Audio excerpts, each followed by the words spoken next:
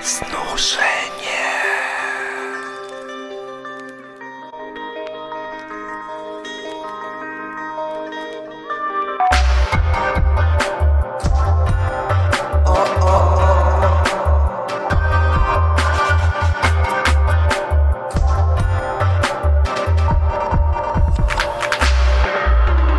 Szare znużenie wlokąc ciężkie szaty I skrzydeł swoich olbrzymi ciężniary.